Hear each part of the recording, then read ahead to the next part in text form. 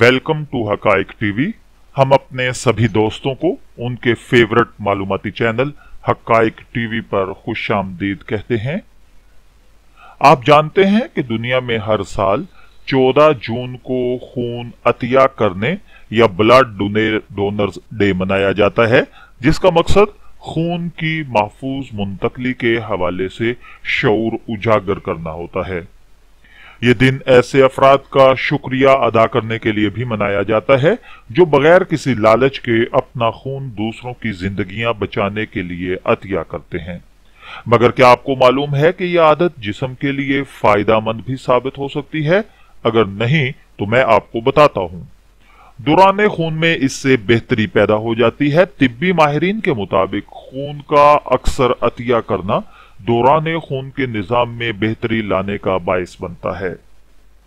کیونکہ اس سے شریانوں کو نقصان کم پہنچتا ہے، جس سے خون کے بلاک ہونے کا خطرہ بھی کم ہوتا ہے۔ آسان الفاظ میں ایسے افراد میں ہارٹ ایک کا خطرہ اسی فیصد تک کم ہو سکتا ہے۔ ماہرین کے مطابق خونتیا کرنے والے افراد کم بیمار ہونے کے باعث ہسپتال میں بھی بہت کم داخل ہوتے ہیں۔ اور وہاں بھی ان کا قیام مختصر عرصے کے لیے ہوتا ہے، جبکہ ہارٹ ایک کینسر فالج وغیرہ کا خطرہ بھی کم ہو جاتا ہے۔ اور اسی طرح اگر آپ اس کو مزید دیکھیں تو اس میں مفت طبی چیک اپ بھی ہو جاتا ہے۔ خون عطیہ کرنے سے قبل تقریباً ہر فرد کا طبی چیک اپ ہوتا ہے، جس میں جسمانی درجہ حرارت، دل کی دھڑکن، بلڈ پریشر، ہیموگلوبن کی سطح کو دیکھا جاتا ہے۔ اسی طرح خون اکٹھا کیے جانے کے بعد اسے لیبارٹری بھیجا جاتا ہے، جہاں اس کے مختلف قسم کے ٹیسٹ کیے جاتے ہیں۔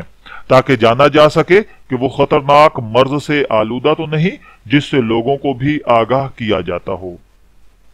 اور اسی طرح بلڈ ڈونیٹ کرنے سے آئرن کی جو سطح ہے وہ بھی متوازن رہتی ہے۔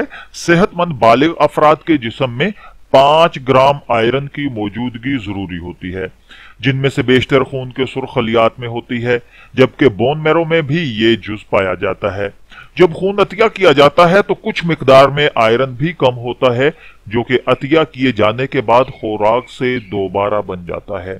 طبی ماہرین کے مطابق آئرن کی سطح میں اس سطح کی تبدیلی صحت کے لیے بہتر ہوتی ہے، کیونکہ اس جز کے بہت زیادہ مقدار خون کی شریانوں کے لیے نقصان دہ ہوتی ہے۔ ایک تحقیق کے مطابق جو لوگ رضاکارانہ بنیادوں پر خون کا عطیہ کرتے ہیں ان میں مختلف امراض سے موت کا خطرہ کم ہو جاتا ہے اور ایوریج ایج میں چار سال تک کا اضافہ ہوتا ہے۔